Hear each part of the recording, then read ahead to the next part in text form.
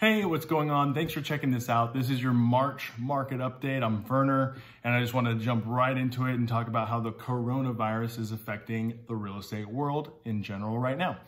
So, as you may know, the stock market is going nuts. Uh, the Fed cut the interest rates and what does that mean to you? So I just want to backtrack and kind of go what, uh, tell you what interest rates were around this time last year uh, for context. So last year, a good interest rate would be 4.25%, which is still historically pretty low.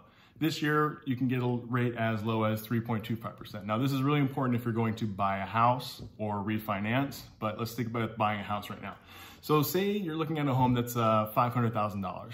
Well, last year, at $500,000 with say 20% down, uh, at a 4.25 interest rate, which it was last year, your payment would be $1,967. So let's take this year, right now, same house, 500,000 with the same 20% down, but interest rates are at 3.25%, just 1% lower. Your payment is 1740. So that's a difference of $227 or $2,700 over the course of a year.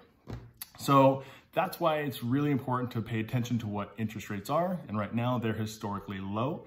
Lenders are even trying to get below that. My lender just mentioned to me yesterday that he had a VA military loan uh, fund for 2.75%, which is nuts. Um, so what does this mean for you if you are a, a seller?